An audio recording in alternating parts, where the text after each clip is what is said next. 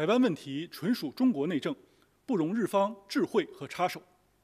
众所周知，日本当年曾以侵略扩张手段攫取台湾，对台殖民统治五十年，犯下的罪行罄竹难书。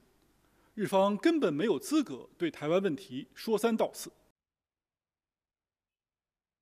由于历史和现实的原因，日方军事安全动向一直备受国际社会关注。